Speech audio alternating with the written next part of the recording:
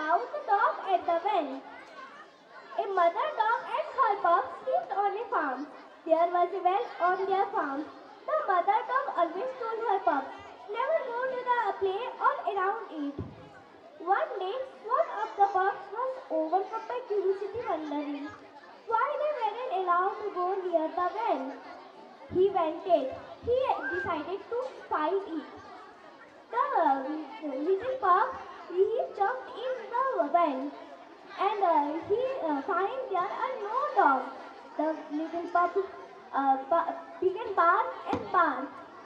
The moral, um, moral of the story, always listen to what elders say and don't defeat them. Thank you.